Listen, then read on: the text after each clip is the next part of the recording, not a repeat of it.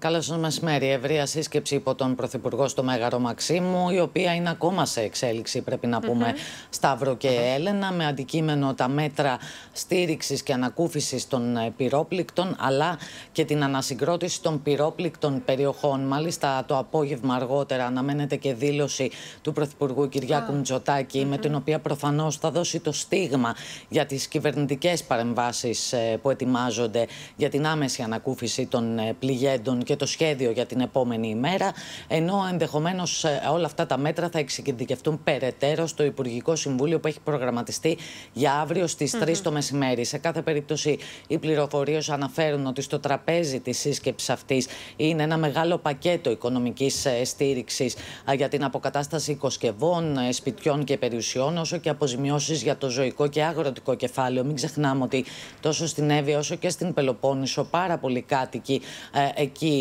ε, βγάζουν τα προστοζήν ε, από τη γη και από την κτηνοτροφία, ενώ σχεδιάζονται και μεγάλες αναδασώσεις και έργα υποδομών.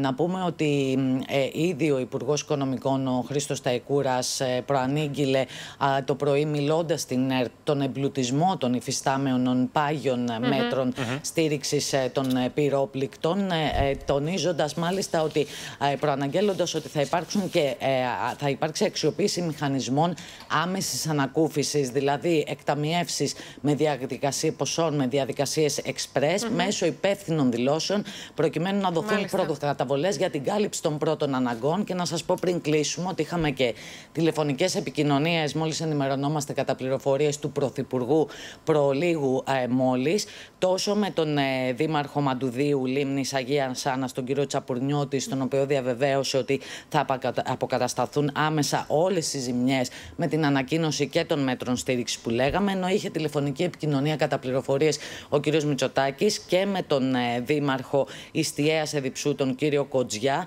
στον οποίο δεσμεύτηκε ότι η αναστήλωση της Βόρειας Εύβοιας θα γίνει εθνικός στόχος και θα στηριχθούν όλοι οι κλάδοι της οικονομίας με κάθε μέσο προκειμένου να μην χαθεί κανένα εισόδημα. Ευχαριστούμε, πάρα πολύ, Ναντίνη, για την ενημέρωση.